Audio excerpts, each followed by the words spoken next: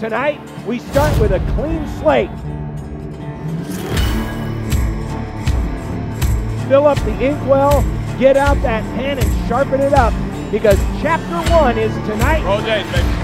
Let's go. Do it for real tonight, fellas. Be locked in, everybody, for 40 minutes. Together on three. One, two, three. As the great Blue Jays take on the Florida A&M Rattlers on the season opening night of Blue Jay basketball. Off center with the block. Now down the floor. Fireman Cam. Alexander all the way home. Hammer slam right through the middle of the lane. Steps into a wide open three. Yes, sir. Baylor off the bounce. Shoots the three. Yes, sir. He'll shoot the open three. Yes, sir.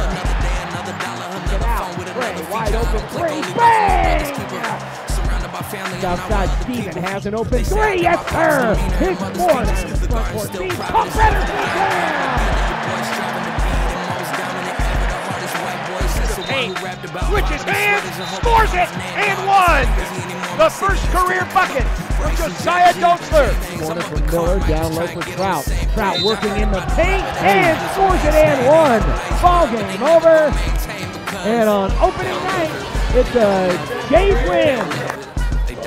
Final score, Creighton 105, Florida A&M 54.